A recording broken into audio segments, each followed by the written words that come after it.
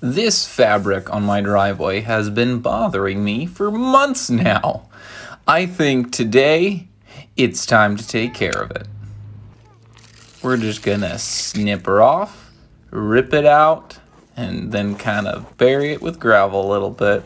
You know, it's been annoying me for months, and look at this. It's only gonna take me just a couple minutes to rip out the rest of this stuff and to cover it back. And now, all of a sudden, it's not here anymore. It's beautiful. It's nice just to get something done that's been lingering for a long time.